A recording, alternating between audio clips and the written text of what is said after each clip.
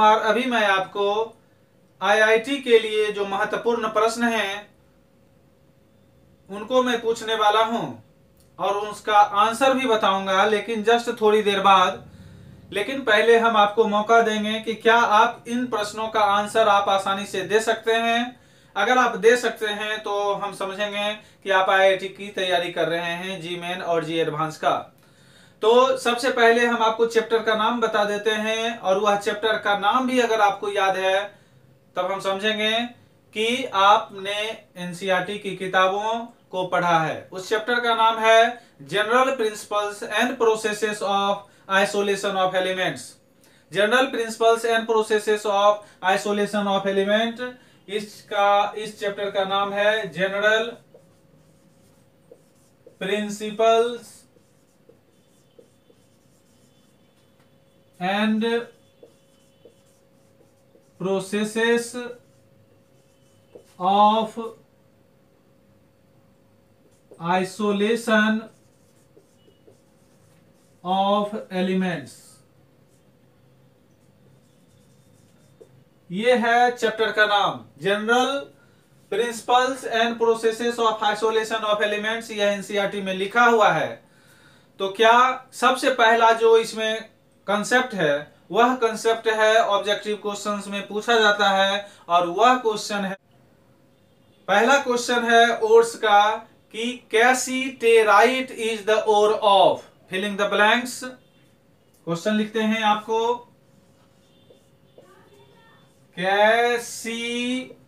cassiterite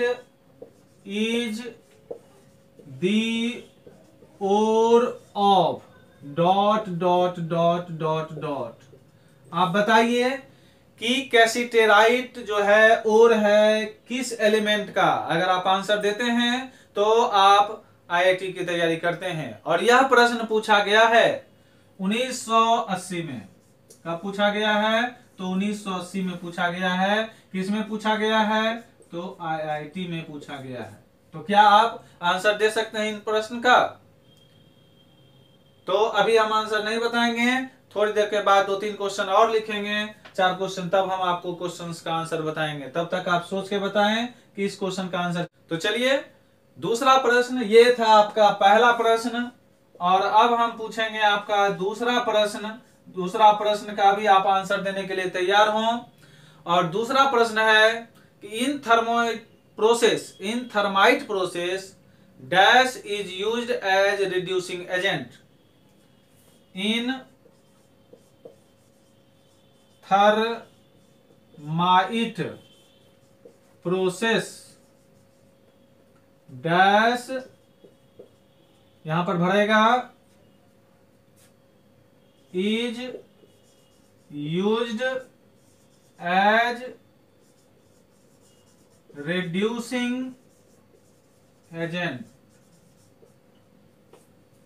आप सोच कर बता सकते हैं if you have the concept of both this question अगर आप आई की तैयारी करते हैं और यह भी प्रश्न पूछा गया है उन्नीस में यह भी प्रश्न पूछा गया है कब तो उन्नीस में तीसरा question in the basic Bessemer process for the manufacture of steel तीसरा प्रश्न in the basic Bessemer process for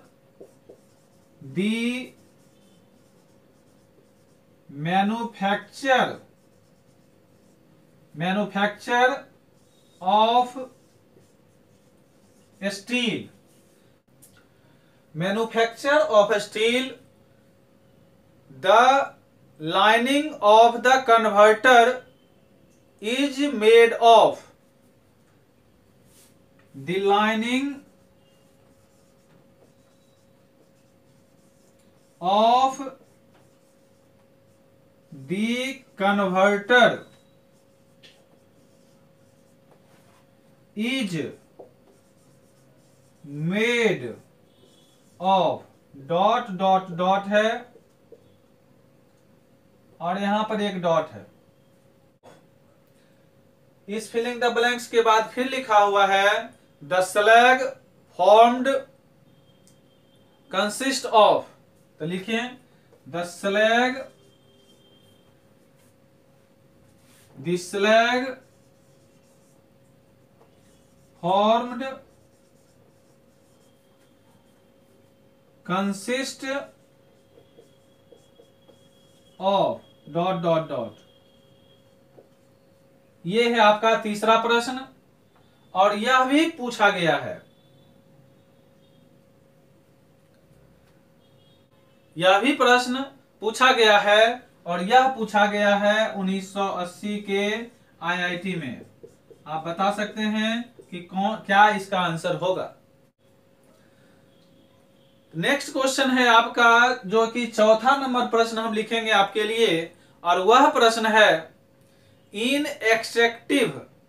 metallurgy of zinc partial fusion partial fusion of Z N O with coke is called dot dot dot आपको बताना है तो चलिए चौथा question हम आपके लिए लिखते हैं और आपको बताना है उसका जवाब in extractive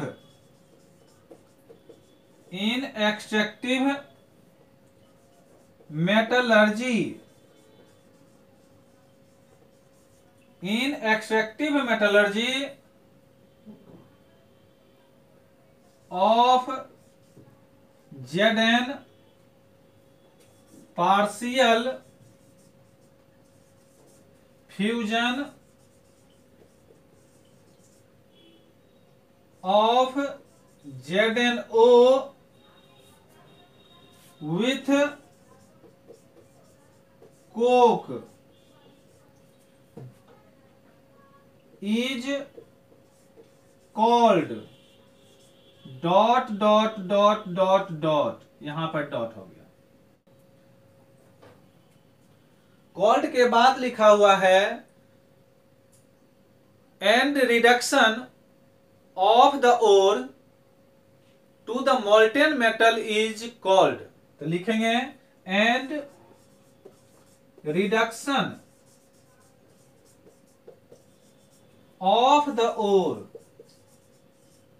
of the ore to the molten metal is called dot dot dot dot dot आपको बताना है इसमें दो फिलिंग द ब्लैंक्स है पहला स्मेल्टिंग दूसरा कैल्सिनेशन तीसरा रोस्टिंग और चौथा सिंटरिंग चौथा सिंटरिंग तो चार ऑप्शंस आपको दिए गए हैं पहला यहां स्मेल्टिंग दूसरा कैल्सिनेशन तीसरा रोस्टिंग और चौथा सिंटरिंग तो क्या ये कॉन्सेप्ट आपको यह क्वेश्चंस का आंसर आप दे सकते हैं या इस क्वेश्चन का आंसर दे सकते हैं या यहां पर आप भर सकते हैं या यहां पर आप भर सकते हैं या यहाँ पर भर सकते हैं या यहाँ पर भर सकते हैं तो एक दो तीन चार पांच और छह छह आपको बताना है और हम देखना चाहते हैं कि क्या आप इसे भर पाते हैं कि नहीं भर पाते हैं और यह भी क्वेश्चन पूछा गया है 1988 में आईआईटी में So if you are preparing and if you are the aspirant of IIT, JEE main and advanced, you have to solve all these questions without doing any late within the limited time with 100% correctness. After that, you can be easily selected in the G main with advanced. तो चलिए आप इसको solve कीजिए बताइए तब हम आपके साथ फिर डिस्कस करते हैं